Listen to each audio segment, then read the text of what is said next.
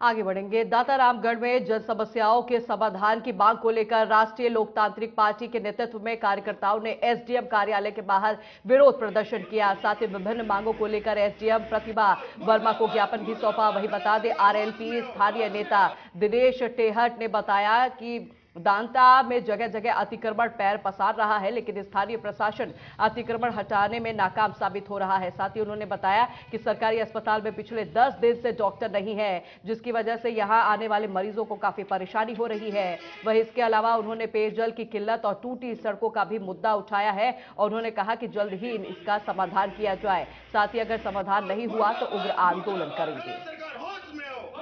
आज दातारामगढ़ उपखंड मुख्यालय पर हम चार मांगों को लेकर ज्ञापन देने के लिए पूरी टीम के साथ यहाँ पे आए हैं।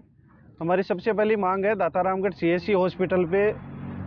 दस दिन से डॉक्टर नहीं बैठ रहा है, नियमित वहाँ डॉक्टर बिठाया जाए। उसके अलावा जल जीवन मिशन के अंदर हर घर नल जोड़ने के लिए जो डांडियाँ वंचित रह रही हैं, उनको जोड़ा जाए।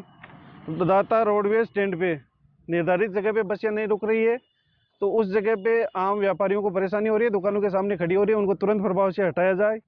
उसके अलावा रोडों का मुद्दा खाटू श्याम जी से जो दाता रोड आती है, वो पूरी टूटी हुई है।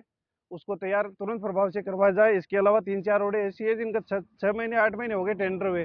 वो नहीं बन रही, उनको तुरंत प्रभाव से काम उसका चालू करवाया जाए। इन मांगों को लेकर पूरी टीम के साथ यहाँ उपखंड मुख्यालय पे हम ज्ञापन देने के लिए आए अगर हमारी मांगे नहीं मानी गई तुरंत प्रभाव से तो हम यहाँ उग्र आंदोलन करेंगे जल्दी।